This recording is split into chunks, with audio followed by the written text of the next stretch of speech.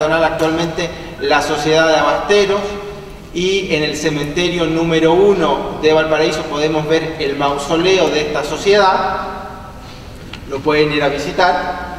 Era un mercado libre donde se va a comercializar frutas, flores, animales, pescados, mariscos, carne y van a existir cocinas, es decir, un restaurante.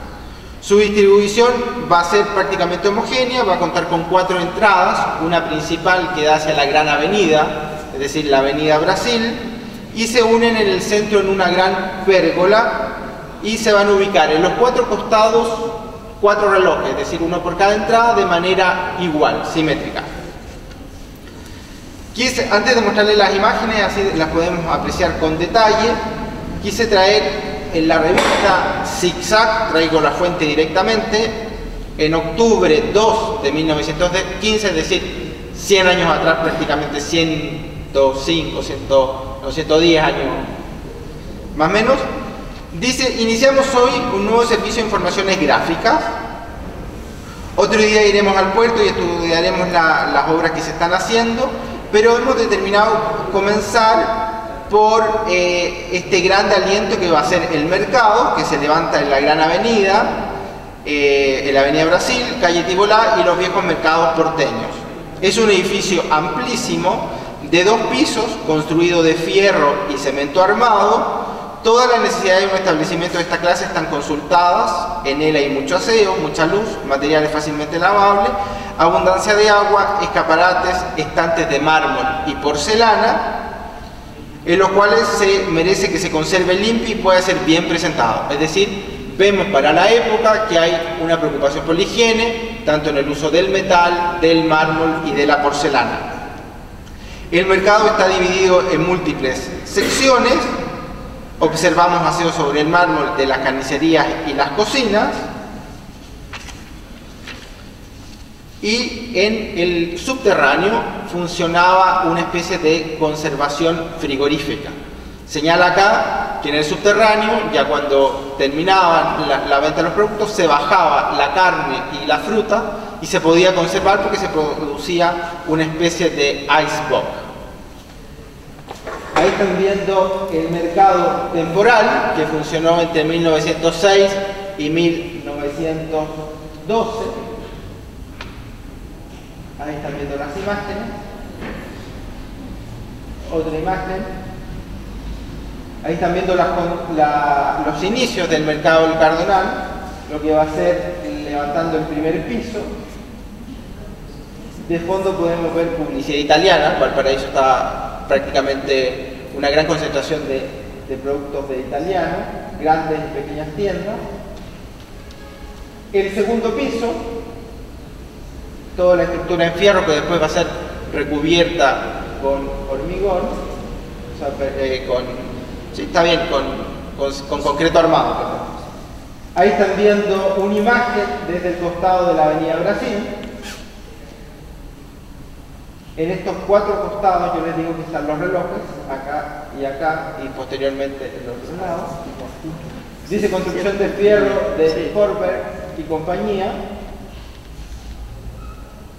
otra imagen desde otro ángulo, la que nosotros mirábamos otra que estaba tomada hacia allá, porque este edificio estaba en este sector, si se fijan. Ahí están viendo ya el material. La gran mayoría de las imágenes pertenecen a la revista Sucesos y Zigzag. Ahí están viendo el día casi de inauguración, 1915, el sector que veíamos anteriormente, El sector que está acá es el sector de las carnicerías. Funcionaba una pescadería y una eh, marisquería, pero va a ser trasladada al frente, por la calle 12 de febrero. Al frente está el terminal pesquero actualmente y no al interior del mercado. Yo no sé si lo habrán sacado por un tema de higiene, de olor, pero se saca y las carnicerías también ya no funcionan. Solamente como venta de hortalizas, frutas, verduras, flores, eh, algunos productos, frutos secos, quesos.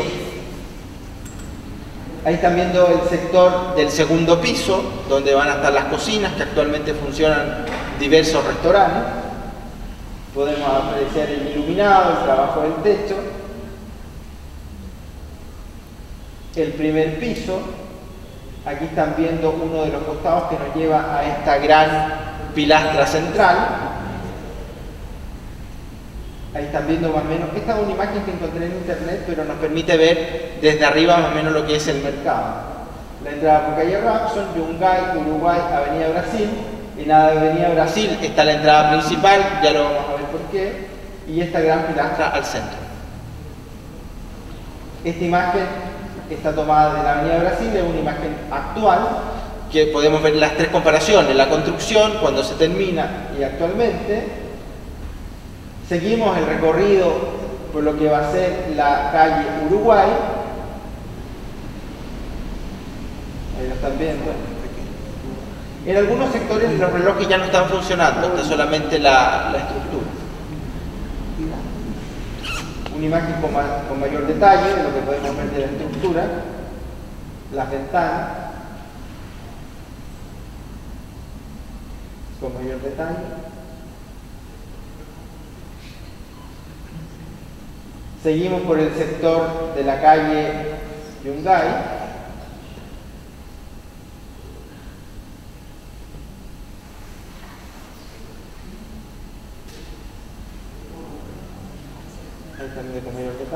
Seguimos bajando por el sector de 12 de febrero.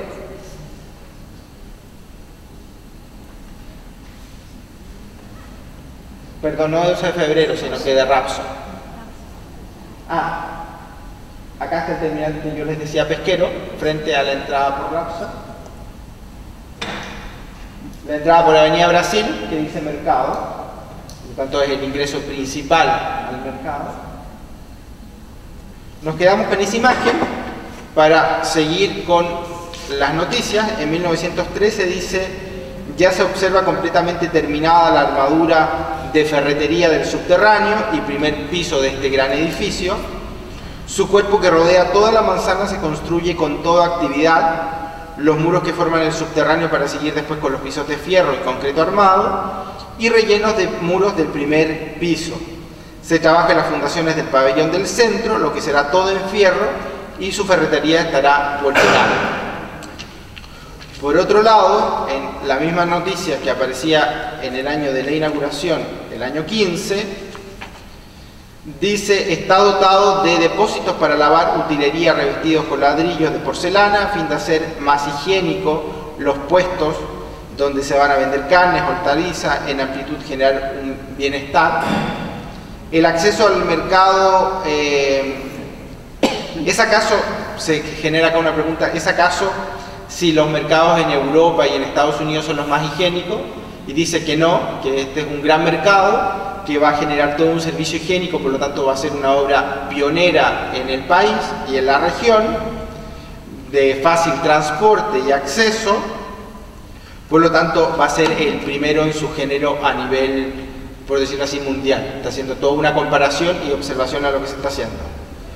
Dice, el subterráneo va a funcionar como icebox, eh, va a ser una caja refrigeradora que permita conservar la carne y, las frutas, y en ella se van a depositar el efecto grandes trozos de hielo.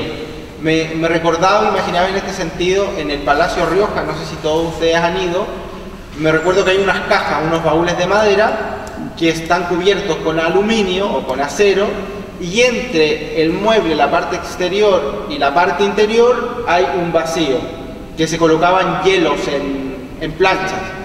Y en la revista Sucesos existía dos emporios de italiano en el centro de Valparaíso que vendían hielos. Dice, se venden hielos por medida.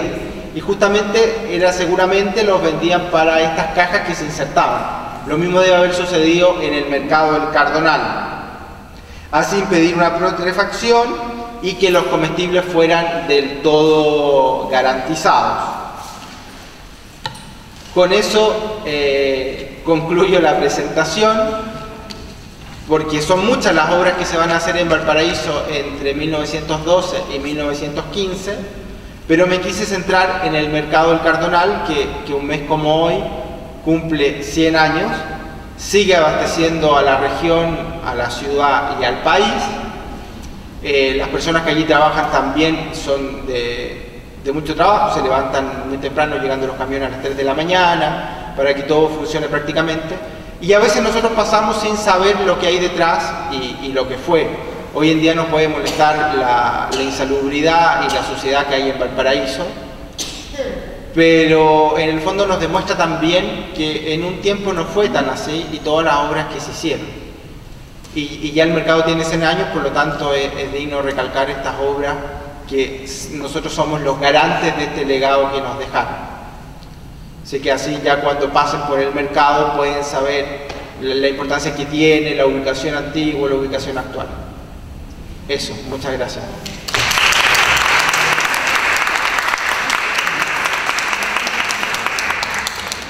Agradecemos la exposición de Emilio Toro y dejamos abierta una ronda de preguntas.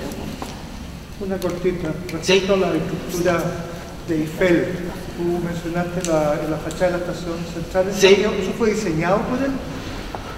Dice que fue traída por Eiffel, en otras partes dice que fue diseñada, pero en, en, en internet y en un libro dice que las únicas estructuras que pertenecen a cabalidad a Eiffel son la estación central en, en Santiago y la estación de trenes que después pasa a ser la estación de buses en La Paz, en Bolivia. Tiene algunas estructuras pero particulares en Argentina. ¿Y la Catedral de Arica? La Catedral de Arica también creo que la norma, pero no a cabalidad al proyecto de él y en ese entonces cuando la construye dicen ahí que ahora es de Chile pero que en ese entonces era de, de, de Perú. Y los otros dicen que generó algunas cátedras o clases en la Universidad de Chile, lo cual me hace pensar que ahí eh, fue alumno de él y, discípulo.